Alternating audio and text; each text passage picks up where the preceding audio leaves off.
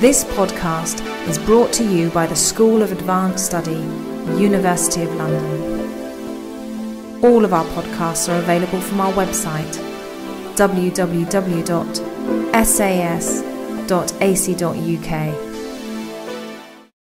Good evening, ladies and gentlemen, and uh, a very warm welcome to you all.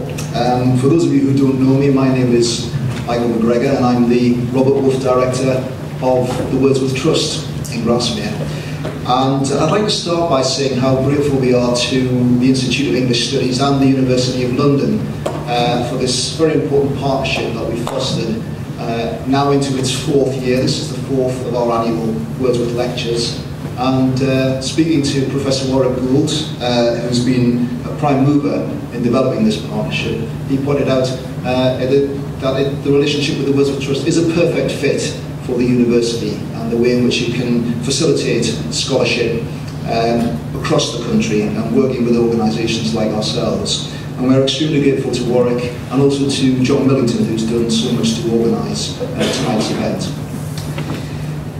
It's important that the Wordsworth Trust has the opportunity to come down to London from time to time and say hello, uh, partly because we've got so many good friends here in the capital and I'm delighted to see so many uh, familiar faces here this evening uh, and also delighted to see some new faces as well because it gives us the opportunity um, to say hello. Um, we are the Wordsworth Trust and uh, there are staff and trustees here this evening who will be delighted to tell you a lot more about the important work that we do. Uh, we are based in Grasmere but our work really spreads across the country and internationally as well as a centre for scholarship in Wordsworth specifically but also the, the writers and artists of the entire Romantic period uh, is very much our brief, as is the poetry of today, and we have a thriving contemporary literature programme as well. I appreciate the support that many of you give us in this room tonight. Um, I've been saying for I think for the past three years now that as an organisation we're living in challenging times. I think that's become a bit of an overused phrase now, but um, it is very challenging for us, uh, as it is for many organisations out there, and the support that we get from our friends, from our patrons, and from those who support us in other ways is absolutely invaluable. So, on behalf of the trustees and staff of the Wordsworth Trust, I just wanted to take this opportunity to say a big and very heartfelt thank you uh, to you all now gives me the very greatest pleasure to introduce our speaker for this evening. This is the fourth, as I say, uh, Wordsworth Lecture. And our speaker this evening is Dr. Seamus Perry. Uh, Seamus is a fellow and tutor at Balliol College, Oxford, and a lecturer at the university in English. He's also a fellow of the English Association and, since 2002, uh, a trustee of the Wordsworth Trust. Seamus's research interests embrace English romantic poetry and thought, uh, especially Coleridge and Wordsworth, uh, and in post-romantic English poetry, he has a particular interest in Tennyson, Auden, Eliot, Larkin, and their circles. Uh, has published widely on the Romantic poets, including a selection from Coleridge's notebooks for OUP and a biography of Coleridge for the British Library's Writers' Lives series. He's editor with Christopher Ricks of the journal Essays in Criticism and general editor of the 21st Century Oxford Authors series. Seamus's lecture this evening uh, bears the intriguing title, What Did Wordsworth Make of Coleridge? Um, I feel we could easily devote probably the next decade of Wordsworth lectures to that particular subject. We're only going to give Seamus about an hour, but ladies and gentlemen, please welcome Seamus Perry.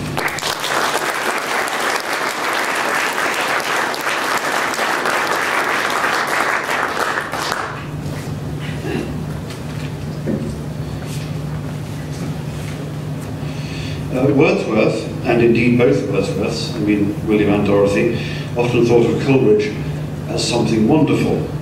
Here is a report from one of the poets' circle of meeting Wordsworth at Rydal Mount in 1834, a few days after, oh, there's the portraits of the two poets I'm talking about, a few days after Coleridge had died. My brother and I walked over to the Mount. The speaker is someone called the Reverend Graves, walked over to the Mount where we found the poet alone. One of the first things we heard from him was the death of one who had been, he said, his friend for more than 30 years. He then continued to speak of him, called him the most wonderful man. I take it the italics are somehow an impression of Wordsworth's own emphasis. that he had ever known. Wonderful for the originality of his mind and the power he possessed of throwing out in profusion grand central truths from which might be evolved the most comprehensive systems. That was very heartfelt and expressed in the moment of um, grief. But Wordsworth's terms were uh, unusual for him. Here, from the other end of uh, Coleridge's life, is Hazlitt, uh, Hazlitt writing later in life, but recalling the early happy days of his acquaintance with poets whom he knew. Uh, Hazlitt's talking about uh, Coleridge's extraordinary charisma and says this, I can easily credit the accounts which are circulated of his holding forth to a large party of ladies and gentlemen an evening or two before on the Berkeleyan theory, when he made the whole material universe look like a transparency of fine words. And another story, which I believe he somewhere told himself, I've never tracked it down, of his being asked to a party of, at Birmingham, of his smoking tobacco and going to sleep after dinner on the sofa, where the company found him to their no small surprise, which was increased to wonder he started up of a sudden and rubbing his eyes looked about him and launched into a three hours description of the third heaven of which he had just had a dream. So this is clearly a sort of slightly bastardized version of the preface to Kubla Khan, but it's, it's, it's including that, that, phrase wonder, which is clearly uh, one of the words that, that hangs around uh, uh Coleridge's uh, neck. Uh, Hazlitt, a little bit later in that same essay, has a nice passage about a man called John Chester, who is one of many people who in the course of a life that was actually full of admirers, although Coleridge thought of himself as being friendless. He endlessly had admirers and friends, and John Chester was one of them, went to Germany with him in the 1798-99 uh, tour and, uh, and, hung around him and, and, and, hung on his every word. And Hazlitt is uh, uh, suitably contemptuous of John Chester because he didn't have quite the uh, genius that Hazlitt himself would have had in the same uh, situation. And this is what Hazlitt says about Chester. This Chester was a native of Nether Stowey, one of those who were attracted to Coleridge's discourse as flies are to honey or bees in swarming time to the sound of a brass pan. He had on a brown cloth coat, boots and corduroy breeches, was low in stature, bow-legged, had a drag in his walk like a drover, which he assisted by a hazel switch, and kept on a sort of trot by the side of Coleridge, like a running footman by a state coach that he might not lose a syllable or sound that fell from Coleridge's lips. He told me his private opinion that Coleridge was a wonderful man. Well, um, Hazlitt's rather snooty joke, of course, is that everyone thought that Was a wonderful man, so that for Chester to have formed this view, as it were, in the privacy of his own inadequate brain, was a sign of uh, just how lackluster he was, I suppose, compared to Hazlitt himself, who I think more than anything else wanted Coleridge to love him uh, and of course never had that pleasure. Um, uh, Chester wasn't very hardened to life. He was an ingenuous person, uh, but people much, much more hardened and much less ingenuous than John Chester could be taken in not dissimilarly by the same Coleridge wonder effect.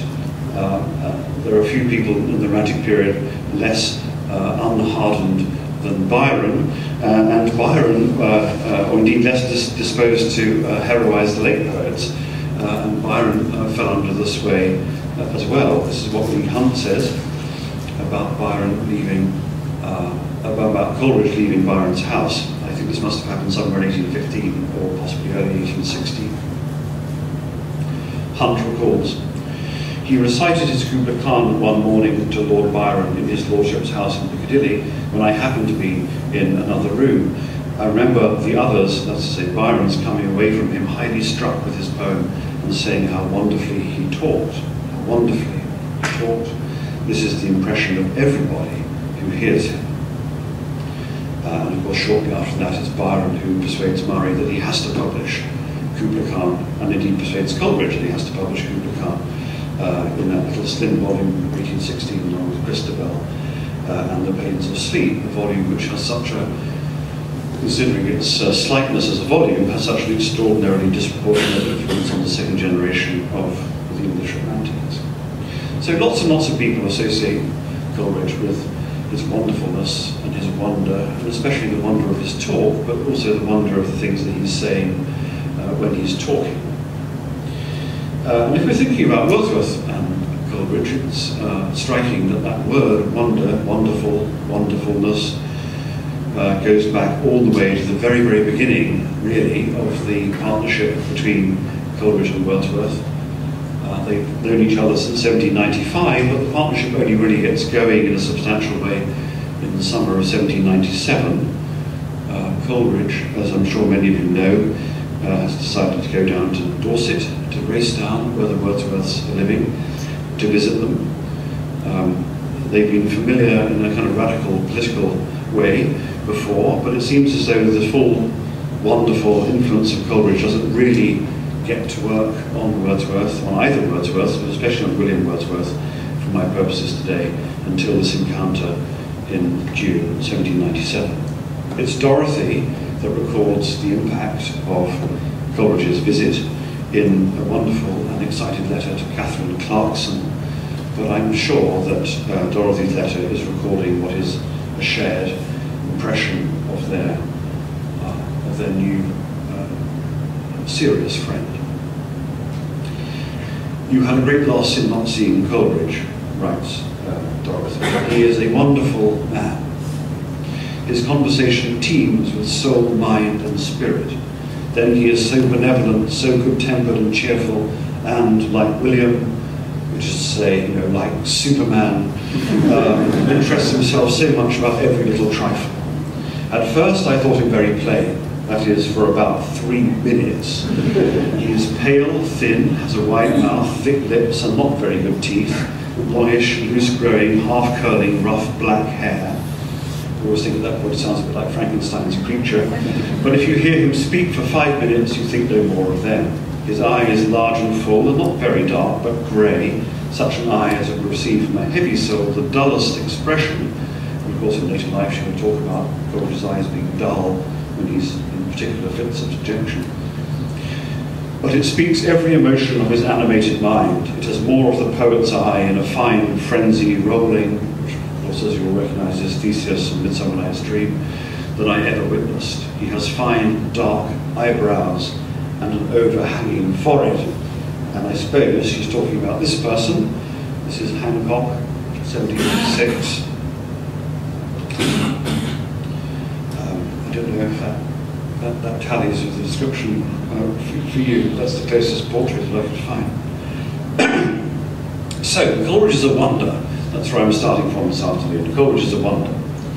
But there are interesting ambiguities in the word wonder. And uh, Peter Swaab, who's here somewhere, so I'm coming, has just published an extremely interesting article on exactly this, which chimed in really interesting ways with, with what I was thinking in preparation for this lecture. Wonder uh, is, is, a, is a, a word of, of very uh, fruitful and interesting ambiguity. And what Peter does in his very interesting essay published in the Journal of Romanticism is to think about wonder as what the great uh, critic William Empson called a complex word. And what a complex word often does is to contain within itself some sort of structure of, of, of, of discordant or dissonant opinions or views about the, um, about the thing that is the subject of the word. Uh, and the, the, the, topics that uh, Empson talks about, the words that Empson talks about are complex words, words like sense or wit, uh, things like that. But Peter makes an extremely powerful and I think entirely persuasive case that wonder is, is one of those one of those words as well. And I think that feels intuitively right uh, to us, uh, even if you don't want to bring on board the uh, the whole brilliant Empsonian um, machinery. There is even in modern English um, a kind of shaping or informing ambivalence to our use of the word wonder. Uh, and so where does a uh, a sad middle-aged man go if he wants to uh, give you an example of contemporary use? Well, of course, the answer is Bob Dylan. So here we are. Uh, Bob Dylan has a song called Lovesick on his album uh, called, um, what was the album where Lovesick appears? I've forgotten. It's coming up on the next slide. Uh, and Dylan sings, Could you ever be true? I think of you, and there's a wonderful gap in the music, and then he sings, and I wonder uh, time out of mind. That's the Now, that's a brilliant use of the ambiguities of the word wonder, which persists through to this day, but persisted back certainly to the late 18th century, and I'm sure beyond then. What Dylan is saying in those lines are sort of two things at once, isn't he? What he's saying is, once more positively, he's saying, I'm struck by wonder at what you're like. You're marvellous. You're almost too good to be true. That's, as it were, the positive, love-struck way of interpreting those lines. But at the same time, he's also saying something else a bit more sceptical, isn't he? He's also saying something like, my idea of you just must be too good to be true. Um, I contemplate you sometimes, and I wonder what you're really all about. I wonder what I'm doing, really. Wonder, in that sense. So wonder can be at once uh, struck by amazement, but also struck by a kind of accompanying skepticism. And the two feelings have to coexist for the word to be uh, a complex word, or, or, for the word to have that full kind of ambivalence that I want to try and explore a little bit this evening. It's not that the one undercuts the other, uh, it's that the two sort of coexist. Um, this is common to lots of our uh, uh, uh popular uh, terms of praise. Uh, my colleague and friend David Womersley has written about Pope in these terms. It's very interesting the way that Pope singles out words like, um, or, or phrases or ideas like brilliant or dazzling, which are at once extremely positive things to say, but could also, with a slight twist, be rather negative things to say about someone. It's interesting that our terms of admiration are quite so close to our terms of disparagement. And of course Pope is very, very good because he's very good at talking out of the side of his mouth on, on making um, full advantage, full marvellous advantage of those kinds of, of duplicities that the terms of praise, like wonder, can have. I think it's a very interesting phenomenon altogether, and I could talk about it all night, but I'm not going to do that all night, don't worry. Uh, I just think that there's an interesting sort of double play, which is at once being impressed and rapt by something, but also at the same time um, reserving some sort of hesitancy or some sort of self-defensive skepticism about something uh, that is that is important. And I think that's absolutely all in play when Wordsworth talks about Coleridge's wonder, because I think that that mixture of deep admiration, deep struck, rapt uh, uh, admiration, but at the same time some saving hesitancy or some saving skepticism about what it is that you are being impressed by is exactly uh, the, uh, the truth of what Wordsworth uh, made of Coleridge. Anyway, let's go back to the June, uh, that period of June 1797. What was it about Coleridge in June 1797 that so struck Wordsworth as a source of wonder? Uh, and here immediately one must say that we have a problem, which is that the wonder was communicated chiefly through conversation and not through correspondence. They were living in each other's pockets. They were talking to each other, I suspect mostly was Coleridge talking and Wordsworth listening. Uh, but that means that there must be some sort of degree of speculation about what on earth it was that was going on. There are no letters that I can point you to that say what it was that Coleridge was communicating to Wordsworth in the second half of 1797. So I'm being a little bit speculative, but I don't think that uh, that speculative. But it seems to me that one of the things that stirred Wordsworth very strongly in uh, the things that Coleridge was thinking when he turned up in, in 1797 was, uh, and this risks putting it in a very sort of simplistic way, but I, I, I want to just run with it for a little while. I think what he was impressed by was this very powerful sense Coleridge communicated that uh, he was able to see through things he was able to see that things sort of made sense. And I think that in uh, June 1797, uh, that's exactly what Wordsworth needed. He was in, in, the midst of a period of tremendous post-revolutionary turmoil uh, and anxiety, and I think someone turning up in his life who sort of gave you the impression that he had a kind of imaginative and spiritual and perhaps even theological purchase upon what seemed to be otherwise a series of chaotic and, and, and un, unmeaningful events. That was just what Wordsworth needed. So Coleridge's wonder, I think, was that he seemed to be a man who brought with him a sense that the world had sense. If you want a comparison to that, it's exactly, it seems to me, or more or less exactly like Auden was to his generation in the 1930s. All Auden's contemporaries and younger, uh, uh, Auden's peers and younger contemporaries in the 30s uh, looked at Auden and saw someone who somehow had a kind of uh, a sense of order uh, about what was going on in the maelstrom of 1930s politics and culture. What Auden himself once called, talking about Thomas Hardy, a hawk's eyes vision, this idea that somehow you were above it and somehow could see through all the, all the, all the chaos into some sort of deep and orderly structure that was going on underneath. Now for Auden that was totally different, that the basis of that order that, that he uh, pretended to understand was a sort of strange mixture of Marx and Freud and all sorts of things. And for Coleridge, of course, it's totally different. For Coleridge, it's religion.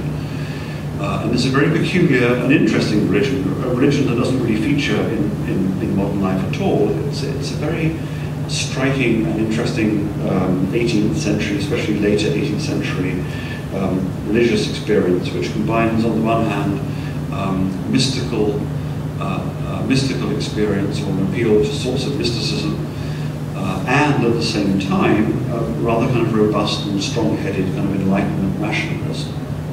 And those two things happen to exist at the same time in quite a lot of uh, dissenting, non-conformist uh, Protestant Christianity towards the end of the 18th century. And Coleridge's Unitarianism absolutely embodies uh, to, uh, to a stark degree that really interesting and perplexing and in some ways rather oxymoronic combination of mysticism and kind of enlightenment um, order. Um, I say that uh, Unitarianism generally um, embodied that, but Coleridge, I think, embodied it even more extremely than most.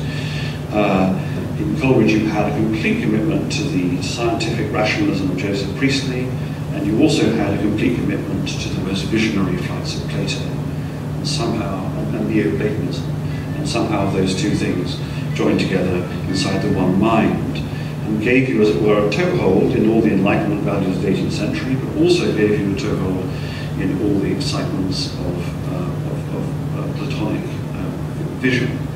Uh, so very, very exciting kind of person to meet if, like Wordsworth, you were in the doldrums and looking for a, a new kind of inspiration and a new sort of source of hope.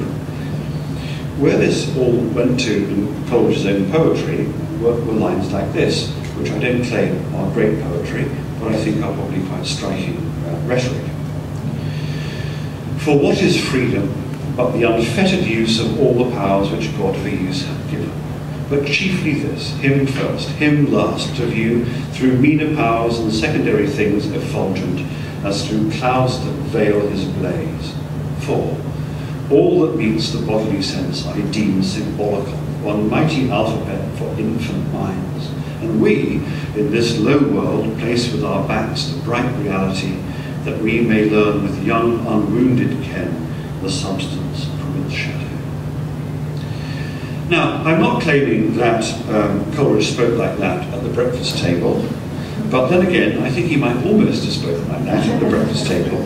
And although Wordsworth's instincts were always much less godly than Coleridge, he, uh, Coleridge himself says that Wordsworth is at least a semi-atheist, which is a wonderful phrase, what is to be a semi-atheist? Um, nevertheless, Coleridge's big idea in lines like this, and I'm sure in his conversation too, as it was uh, taking place over the breakfast table in Racedown, was, was what? What was the basic idea? What was the big idea that he was bringing into that household? Well, the big idea, I suppose, was, if you had to, if you had to paraphrase it, that a devout experience of natural beauty might somehow constitute a revelatory experience, not just a pleasurable experience, not just an aesthetic experience, but in some senses a revelatory experience reveal to you something which is greater or truer or bigger or more meaningful. All those things that Coleridge called God, Wordsworth wasn't so keen on calling it God, but still needed to, to think of it as, as being something other than and bigger than and behind the appearances of uh, contemporary uh, life or contemporary uh, nature in the 1790s, which was so inflicted and fraud. And that, I think, is the basic thing that Wordsworth caught on to with great enthusiasm. He thought he'd found it in Godwin, and he hadn't found it in Godwin, and then Coleridge turned up, and he thought again, but much more reasonably, that he found it in Coleridge. That Coleridge should sit at your table or talk to you while you're out walking over the hills and uh, talk as though he held the keys that would unlock the meaning of the universe, that was just wonderful and wonder in that sense, I'm saying, is wonder in both the ways that I started off by describing. It's once a marvel, it's an extraordinary thing, but also something that, that might call, and increasingly did call, as I shall be saying towards the end, for a kind of skepticism or a kind of, a kind of wariness. Um, anyway, one striking effect that Coleridge had on Wordsworth following that arrival at Racedown in June 1797 was more or less to silence him. This is often the effect that Coleridge had on people he talked to, it should be said. Uh, the best stories for this, if you want to go look them up, are always uh, Charles Lamb's stories. It's Charles Lamb who tells you stories about Coleridge calling him in behind a hedge on the way to work and holding him by his buttonhole Charles Lamb being so desperately late for work, he just slips off the buttonhole and disappears into your house. Uh, you see the end of the story coming already. Six hours later, he pops back and Goran is still there, holding the button and chatting away uh, as though Charles Lamb has never gone. Um, Lamb's stories clearly are exaggerated, but they can't be that much exaggerated because there are so many other uh, so many other testimonies that seem to imply something very similar. My favourite one is uh, a contemporary who recalled one of Coleridge's neighbours, um, non-literary intelligentsia, neighbours uh, in Nether Stowey when he's living there. And the neighbour is reported to say, his conversation is always working, working on, and most fatiguing to listen to. that's what that's what people of Nether Stowey said. His conversation was like, well, it was all, you know, like most things that are ingenuous, it wasn't entirely without its wisdom. Uh, conversations, uh, Coleridge's conversation always was working, working on. The person that it was working and working on most emphatically in that uh, late year of seven, that, that, second half of 1797 was, of course, Wordsworth. And the extraordinary effect seems to have been to stop him writing poems altogether. Uh, all Wordsworthians have as their sacred text two volumes by uh, an astonishing American scholar called Mark L. Reed, called the chronology, a chronology of the early years and a chronology of the later years. And uh, Mark L. Reed goes through day by day by day, really, Wordsworth's life and what he did and what he wrote. And if you look at the second half of 1797 in the Mark L. Reed chronology, you see he wrote almost nothing. The one thing he might have done is tinkered with the borderers, his, his uh, sort of uh, vaguely Shakespearean tragedy, which he submits to Covent Garden at the end of the year when he gets rejected very quickly. But that might be the one piece of, of, of, writing that he's doing. So he's reduced to silence. And it's important, it seems to me, to, to, to tweak that this silence isn't just that he feels incapable. The silence is the result of trying to collaborate with Coleridge and failing to do so. That's the important thing. It's not just that he thinks, I'm going to have some time away from my own poems. The silence is actually from trying to collaborate with Coleridge and failing to do so. Their principal attempt at collaboration was a supernatural ballad, which they were going to write notionally to raise money, but you know, serious artists never do things just to raise money. They also do things because they want to do them too. Uh, and this, uh, this failed. Um, he told his friend Isabella Fenwick years later in life, as we endeavour to proceed conjointly, I speak of the same evening, the same evening in which the plan for this ballad was, the ballad becomes the ancient mariner, I should anticipate what I'm saying. As we endeavour to proceed conjointly, I speak of the same evening on which the whole plan was conceived, our respective manners proved so widely different that it would have been quite presumptuous in me to do anything but separate from an undertaking on which I could only have been clog. Now, that's years and years later. But in the emphasis of that word clog, it seems to there's a kind of strange recollection of how out of tune Wordsworth must have felt with this extraordinary outpouring of creativity that Coleridge was, um, was showing at that time. Imagine being Wordsworth, in, imagine being Wordsworth, but imagine being Wordsworth in the second half of 1797. Your new friend has just turned up, uh, and he has written what? Well, uh, he's written, you know, the first version of the Ancient Mariner. He's written Kubla Khan. He's written Frost at Midnight He's written The Nightingale, he's written the first part of Christabel and the Coda to Christabel. Must have sat there, you know, with your jaw on the floor at the astonishing, apparently magical, let's say wonderful productivity of this man who suddenly entered your life. And your own clog-like inability to get going with anything to actually participate or take part in any of this creativity must have felt what, at least disorientating, perhaps dismay, perhaps even worrying. Does it mean that actually you, you're not, you know, you don't, you do not have the poetic genius which would justify all sorts of decisions that you've made in your life that presume that you do have something like that poetic genius. Attempts to assimilate with Coleridge failed.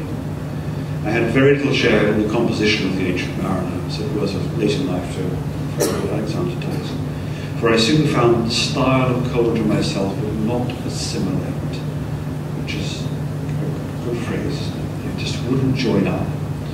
So even in the, in the, in the thick of his greatest sense of Coleridge's wonder, there's something about his own self-perception which is recalcitrant, something which won't quite subscribe to what it is that, that, that Coleridge is doing, whatever it is that Coleridge is doing.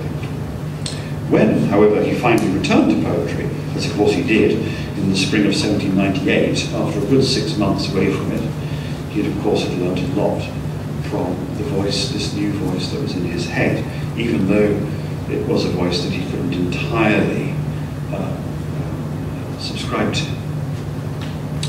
Wordsworth said a lot more to Isabella Fenwick about the attempt to collaborate on the Ancient Mariner, and let me read you some of it. There's too much to throw on the PowerPoint, so I'll just read it to you. We set off and proceeded along the Quantock Hills towards Watchet, and in the course of this walk was planned the poem of the Ancient Mariner, founded on a dream, as Mr. Coleridge has said, of his friend Mr. Cruikshank.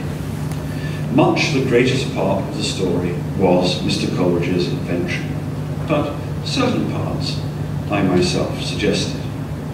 For example, some crime was to be committed, which would bring upon the old navigator, as Coleridge afterwards delighted to call him, the spectral persecution, as a consequence of that crime and his own wanderings. I'd been reading in Shelvocke's Voyages a day or two before that while doubling Cape Horn, they frequently saw albatrosses in that latitude, the larger sort of seafowl, some extending their wings 12 or 13 feet. Suppose, said I, you represent him as having killed one of these birds on entering the South Sea, and that the tutelary spirits of these regions take upon them to avenge the crime. The incident was thought fit for the purpose and adopted accordingly. I also suggested the navigation of the ship by the dead men, but do not recollect that I had anything more to do with the scheme of the poem. Well, you may reflect, what else is there to the scheme of the poem? You've got the albatross, you've got the crier, you've got the dead men on the ship, and you know, pretty much everything that is part of the plot is there, isn't it? But Wordsworth clearly isn't meaning to be funny or meaning to be self-deprecating. He's taking for granted what was clearly taken for granted between himself and Coleridge. A whole aspect, a whole crucial central aspect of that poem is not exhausted by this apparently exhaustive account of its plot. So what is that other element that's there, and what might that have for Wordsworth? Well, there's an important clue, it seems to me, in what Wordsworth does when, once he's writing again in the spring of 1798, he goes back to the first poem he wrote to Coleridge when he turned up at Racedown in June the following, the previous year. And the first poem he read out uh, at, at, that encounter was a new poem, as Dorothy says in the letter to Catherine Clarkson, a new poem called The Ruined Cottage, with which Dorothy reports Coleridge was much delighted. Now that new poem, uh, The Ruined Cottage, uh, is, as you all know, as you all remember, it's the sad story of a woman called Margaret. Her husband's taken off to fight as a soldier and never comes back. She is completely incapacitated by her loss of her husband, but at the same time she's unable to accept in some fundamental way that her husband has been lost. So she's caught in some terrible limbo of bereavement where she is at once bereft but unable to grieve. this is the uh, uh, wonderfully um, perceived psychological state that Wordsworth explores in this uh, brilliant, masterful, and tragic poem. Unable to accept the finality of Robert's departure, she hangs on to her increasingly derelict cottage. The whole poem is structured around an entirely implicit parallel between the decay of the cottage and the decay of Margaret. And she finally ends her days as her poem ends in this way. Yet still she loved this wretched spot, nor would for worlds have parted hands, and still that length of road and this rude bench one torturing hope endeared, fast rooted at her heart, and stranger, here in sickness she remained, and here she died, last human tenant of these ruined walls. A lot of Wordsworth's great thinking gets going by placing unexpected emphases upon apparently innocuous words the uh, apparently innocuous word that receives Wordsworthian emphasis here is the word human. Margaret is the last human tenant. After her, the tenants will be inhuman. They will be uh, nature, they'll be plants, they'll be rodents, they'll be vermin. That's the, that's the metaphorical logic that lies behind the version of the poem that Coleridge heard. That is deeply humanitarian, deeply sympathetic, and it must be a wonderful poem to hear. But it won't do in Coleridge's New Universe that's just swept into the kitchen door in June 1797, because in Coleridge's universe, the distinction between a human and a non-human yeah, is entirely permeable and malleable. There is no distinction really between the human and the non-human. You're all part of a vast, animate and animated, divinely animated creation.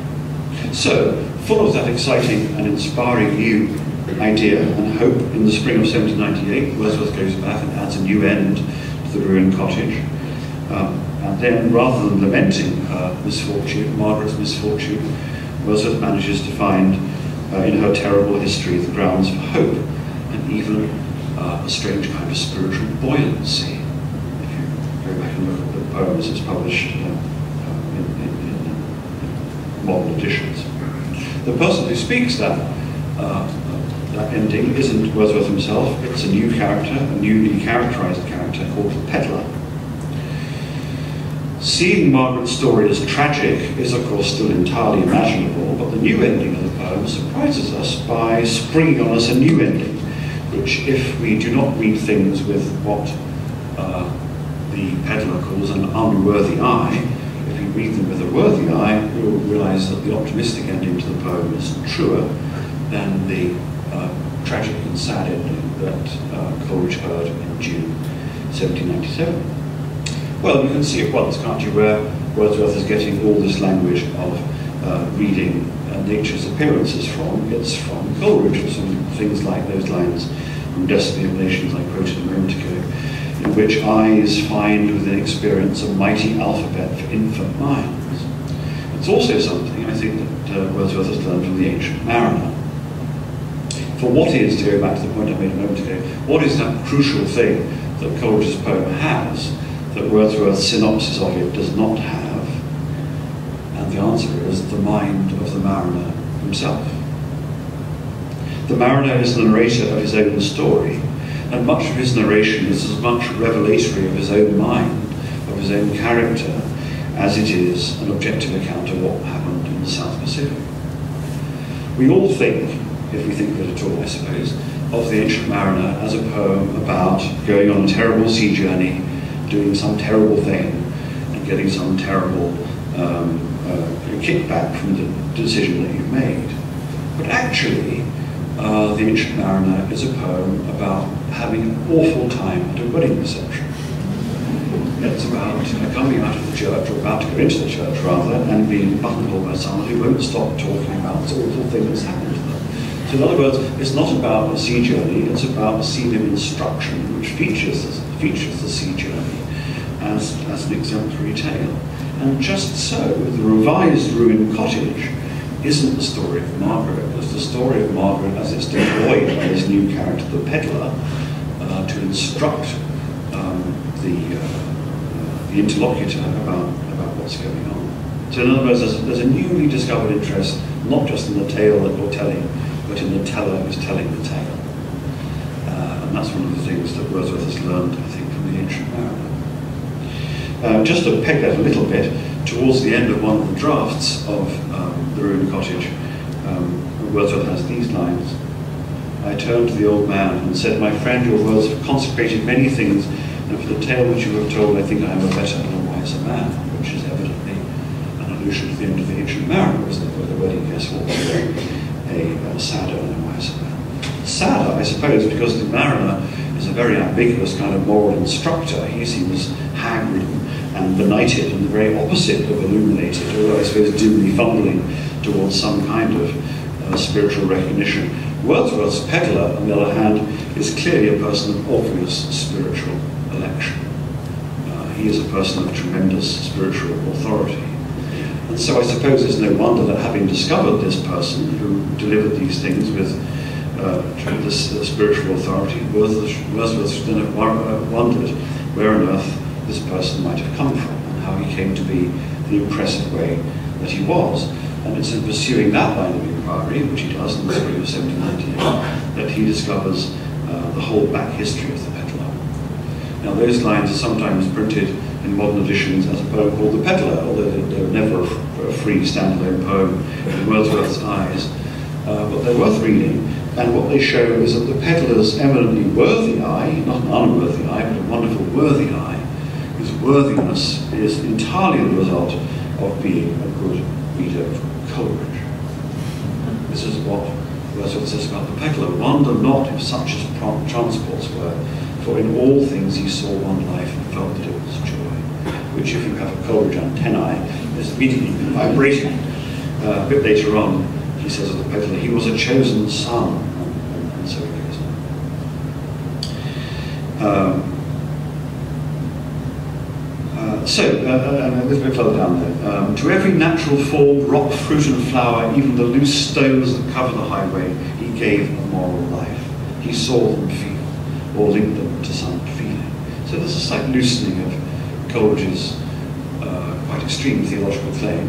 Uh, it's a little bit more about psychology than it is about uh, metaphysics, but it's still the same idea of all of creation being part of some uh, continuous and uh, all-encompassing moral life no distinction between human and non-human here, for example. And as you can see, in everything he looks at, in all shapes, what does the peddler see? He sees a spirit of strange meaning, which is clearly a, a version of the kind of, uh, of platonic uh, initiation that Coleridge has in those poems that uh, he brought into, um, into Wordsworth's uh, kitchen. Very, very nice, as, as, as, as Peter says in his article, to protest wonder not, uh, because it introduces the idea of wonder in a positive way, while saying at the same time, don't worry about this as being wonder in a negative way. That's to say, this will seem a wonder to you, this will seem very, very strange to you, but it shouldn't seem strange to you because this sort of visionary experience is only to be expected if you've signed in to Coleridgean wisdom. That's the sort of meaning that's, that's going on there. So, what I'm saying is that Wordsworth is using Coleridgean terms here to try and figure out who he is as a writer, as a poet, or who he might be, or who he might have been. Wordsworth says to Isabella Fenwick that the peddler was chiefly an idea of what I fancied my own character might have been. So he's using Coleridgean language in a very recognizable way to try and sort out his own self-perception, his own self-conception as, as a writer. And one of the indications that must be true is that when he conjures all, all these lines into Book 3 of the 1805 Prelude, he, he, he transports the third person account of the peddler into the first person account of W. Wordsworth.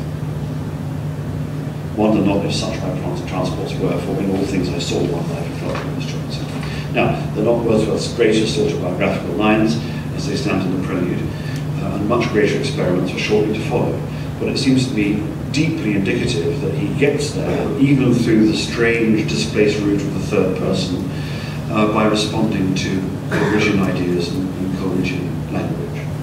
And when he writes his really great autobiographical verse, which I'm coming on to in a second, it will be when he finds the uh, Coleridgean uh, role model, uh, the wonderful role model that Coleridge sets up, much more difficult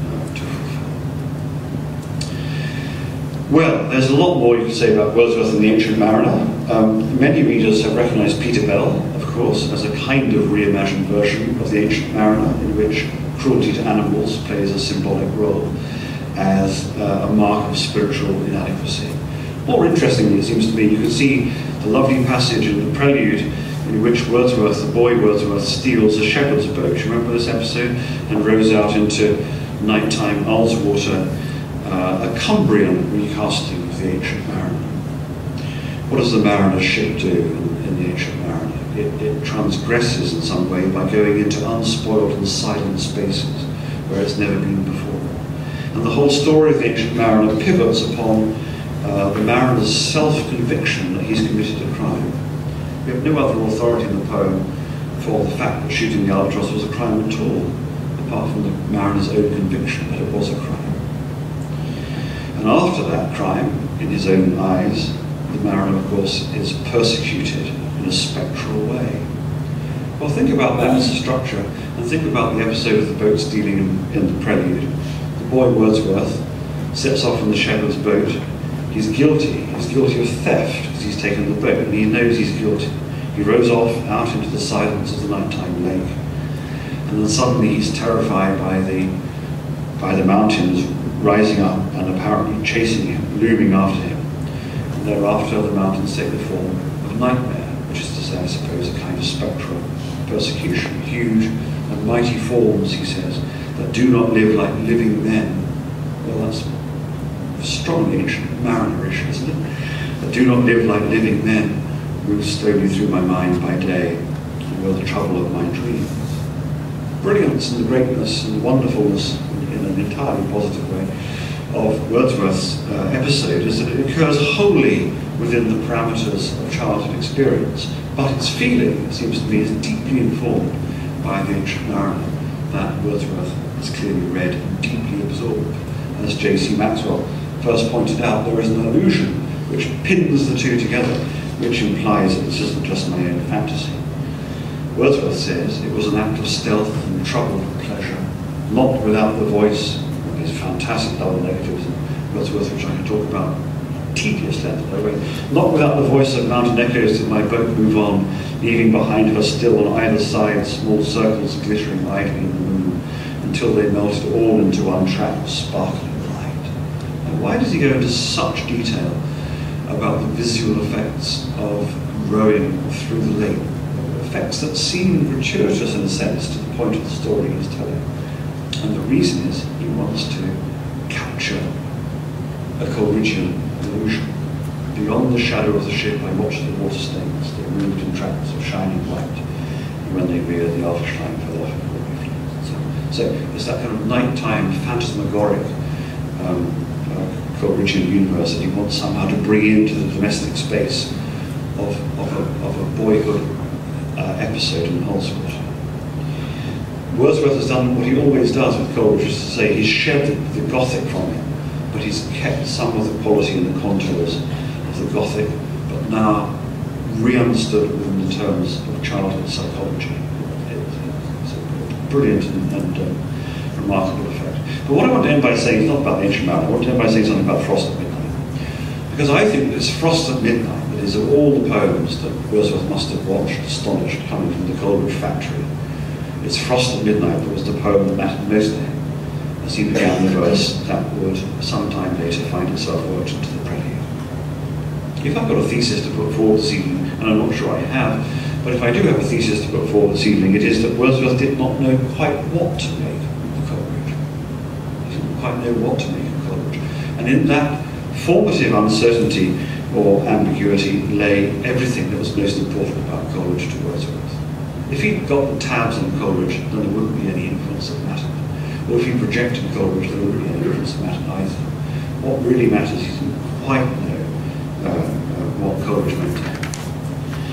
Um, and it's in the autobiographical fragments written in the autumn of 1798, so the other end of the great, the great summer after Tintern Abbey, later reworked to become uh, the two-book prelude, that it seems to me you can see the way that the wonder of Coleridge is both embraced as an inspiration but also placed at a certain distance as Wordsworth discovers what's going to become his great, mature, adult voice. He couldn't have got there without Coleridge, but the voice that he gets to isn't, in the end, Coleridge. So what's the context of these lines, these lines that become the prelude? Well, the context is simply this, as I'm sure you all know. Coleridge is, is expecting Wordsworth to write philosophically. He's expecting Wordsworth to write verse, blank verse, but is going to put forward philosophical ideas. Philosophical ideas of which Coleridge himself would approve. Philosophical ideas, uh, of course, that uh, would um, uh, tune into all those sorts of things that Coleridge has been saying to uh, Wordsworth in Racedown. What's striking is uh, when he sits down to write, this is a very familiar story, and I'm sure you all know it, when Wordsworth sits down to write, he doesn't find himself writing philosophically, he finds himself writing autobiographically. And as he writes autobiographically, the main text is in his mind. The model isn't St. Augustine, it's not Rousseau, it's not anything like that, it's Frost Was it for this, says Wordsworth, that one, the fairest of all rivers, loved to blend his murmurs with my nurse's song, and from his alder shades and rocky falls, and from his falls and shadows, send a voice to intertwine my dreams. For this didst thou, O Derwent, travelling over the green plains near my sweet birthplace, didst thou, beauteous stream, give ceaseless music to the night and day, which with its steady cadence tempering our human waywardness, composed my thoughts to more than infant softness, giving me among the fretful tenements of man a knowledge of dim earnest of the calm which nature breathes among her little haunts. Well, the clue that Wordsworth manifestly has Frost Midnight in mind is Sweet Birthplace, when he rework, reworks these lines into the first book, of the two-part prelude, Sweet Birthplace gains, inverted commas. And what he's thinking about is this passage from Frost at Midnight. How often in my early schoolboy days, with most believing superstitious wish for presageful, have I gazed upon the bars to watch the stranger there, and oft belike with unclosed lids already had I dreamt of my sweet birthplace and the old church tower. So it goes on, a very beautiful passage. Um, the passage I want to concentrate on comes a little bit later in Frost at Midnight, however. Frost at Midnight, like the peddler, like the ancient mariner, is an education poem. It doesn't feature a scene of instruction, but it thematizes education in two ways. There's bad education, which is what you get at school, and there's good education, which is what you get if you wander around a kind of mythologized or fictionalized version of the Lake District and hear God speaking to you, or read, rather, read God speaking to you through the landscape. And it's the second kind of positive education that Coleridge imagines in a very fond and tender way for his boy. And it's the first and desperate and awful kind of sterile education that he, of course, himself has endured. This is what he imagines of his little boy. Dear babe, that sleepest cradled by my side, whose gentle breathings heard in this dead calm fill up the interspersed vacancies and momentary pauses of the thought. My babe so beautiful, that fills my heart with tender gladness thus to look at thee, and think that thou shalt learn far other lore and in far other scenes. For I was reared in the great city, pent with cloisters dim and saw more lovely with the sky and stars. But thou, my babe, shall wander like a breeze by lakes and sandy shores, beneath the crags of ancient mountain, and beneath the clouds which image in their bulk both lakes and shores and mountain crags. So shalt thou see and hear the lovely shapes and sounds intelligible of that eternal language which like God utters, who from eternity doth teach himself in all, in all things. This is a very, very striking passage. Jonathan Wordsworth, my old tutor, used to say this is the first description of Wordsworth's childhood in poetry. And of course it comes in a Coleridge poem. Um, Jonathan was exaggerating because you can go back to early bits with this juvenilia. Uh, but you can still see the point he's making. It's a very, very striking piece of Cumbrian landscape poetry uh, from a man, of course, who's been north of, um, what, Gloucester, Birmingham, something like that at this stage in his life. Um, lovely shapes and sounds intelligible in that eternal language. Think about the two crucial um, organizing uh, tropes that are running through this passage. One is a language of breezes, uh, nurturing and encouraging and coaxing breezes. And one is an idea of an alphabet or a language which nature represents.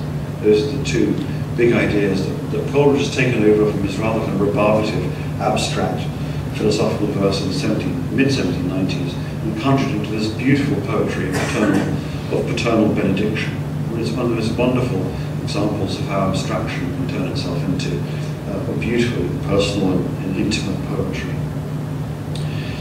Um, when Wordsworth sits down and finds himself writing those lines with Coleridge in mind, what he writes strikingly is this, and, and what I'm arguing today is that he has Frost at Midnight specifically in mind.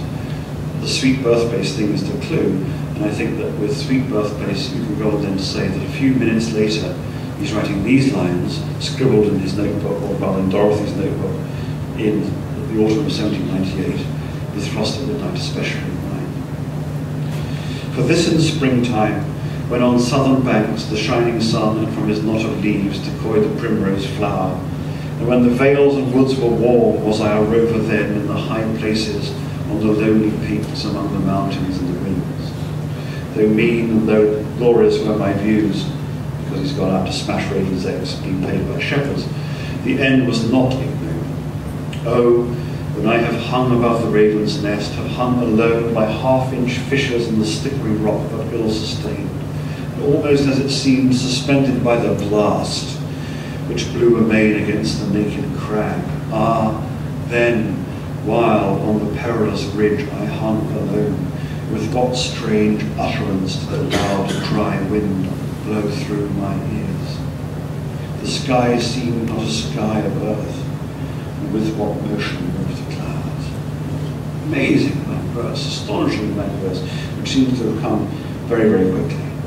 Uh, completely the mature, the great, the greatest uh, Wordsworth of the Prelude. And part of their greatness and part of the surprise there must have been to Wordsworth himself, it seems to me, that they are nothing like those lines that describe the breezy, gentle childhood of Hartley in Frost Midnight. Frost Midnight we have an articulate language which, which Hartley can read uh, from the landscape. We have a gentle, coaxing and nurturing breeze that will, that will blow him along, so that even he becomes like a breeze himself. Uh, it, it is absolutely a, language of, and, a, and a sentiment of, of, of, gentleness and legibility. Uh, your experience is gentle and coaxed, uh, and what you can do is look at the landscape and read it. What we get here is the opposite of all that, isn't it? What we get here is the blast. We get cold Cumbrian winds, not soft Somerset winds or Dorsetshire winds. And instead of getting a legible alphabet that we can read, we get something much more interesting, don't we? We get a strange utterance. Which is to say, I suppose, something speaking in a foreign language that we can't understand. So where Coleridge bursts into Coleridge, into Wordsworth's life with this, with this wonderful uh, I use the word purposefully, this wonderful sense of the legibility of things, if enlightened by a certain spirituality. What Wordsworth is responding to here in a kind of reactive way, in a kind of denying way, is precisely that idea of, of the translucence or the legibility or, or the readability of experience. What Wordsworth is interested in here is the fact that certain kinds of experience stay with you and lurk with you because you can't get to the bottom of them. And that's where this moment of resistance to the thing that he found wonderful in Coleridge begins to express itself. These lines themselves are, to use his phrase, a strange utterance, aren't they? They, they exploit all sorts of um, expectations that we have in English verse in a way which thwarts or frustrates them. So when the sentence begins, oh, when I have hung above the raven's nest, we expect something like a narrative climax. And it feels as you go through that long and very brilliantly articulated, syntactically articulated sentence, it feels as though we are heading towards something like perhaps a Gothic denouement of that sentence. But we don't get that. What we get actually is a reiteration of what we started with. When I've hung above the raven's nest, ah, then when on the perilous ridge I hung alone, with what strange utterance the loud dry wind blow through my ears. And then in the last line and a half, one of the most audacious experiments that Wordsworth ever commits in the art of tautology. The sky seemed not a sky of earth, and with what motion moved the clouds. If you wrote with what motion moved the clouds in a creative writing class, I bet the professor would cross out with what motion moved because it is inelegant and inexpressive. But of course, here it's extraordinarily expressive because Wordsworth is creating within the drama of his own vocabulary choice this, this sense of language being absolutely up against the limits of what's expressible, uh, the very, very limits of comprehensibility. So if part of the wonder of Coleridge, as I've been saying earlier on in this talk, was that he breathed into Wordsworth's life with the sense that there's this extraordinary lucidity uh, that might come with his religious vision, that everything might be bathed in the strong and illuminating bright light of divine purpose. When Wordsworth really discovers his own voice, what he discovers is something antithetical to that, which is that there isn't a sense of bright and illuminating purpose, not enlightenment in a sense at all, but something different, something which is strange and in a way perplexing. Uh, Coleridge once said in the privacy of his notebook, uh, ruefully, a grievous fault it is, he said, my illustrations swallow up my thesis. My illustrations swallow up my thesis. And my th- sense is that that's what happens too, brilliantly, when Wordsworth seeks to write his autobiographical lines informed by Coleridge's philosophy. He knows what the thesis is. The thesis is Coleridge's thesis, which is the thesis expressed in Destiny of Nations and elsewhere.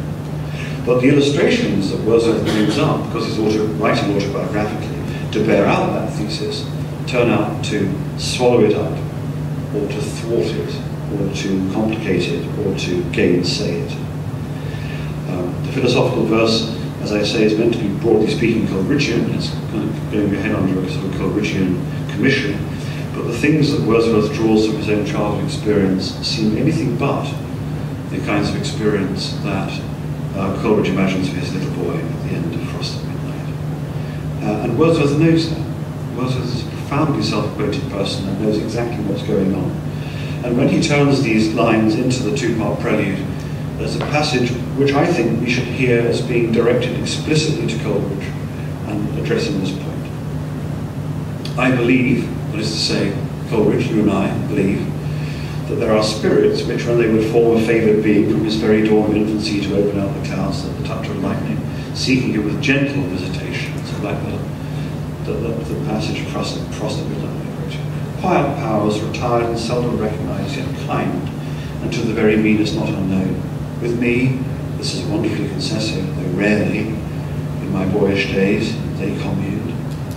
And suddenly here's this complete shot across the bows of Coleridge's entire worldview Others too there are who use, yet happily aiming at the self-same end, severer interventions, ministry, which is the word that of course it appears in the first line of Frost at Midnight, but now twisted to a different purpose.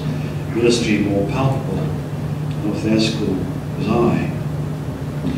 I think we need to understand those lines as being directly addressed to Coleridge, and what they're saying is something like this. I understand what you're saying, I've got the theory, I understand the metaphysics even, and I know the wonderful poetry you wrote in Frost at Midnight about gentle visitations. But look at the stuff I found when I actually went looking. Uh, I found childhood memories about transgression and trauma and unhappiness uh, and being lost and being isolated and being desolate. Uh, but still, uh, we are happily on the same wavelength, aren't we? That's what that passage is saying happily aiming at the self-same end. But I don't think they were on the same wavelength. And I think Wordsworth's recognition of that they weren't, in the end of, the autumn of 1798, was the making of.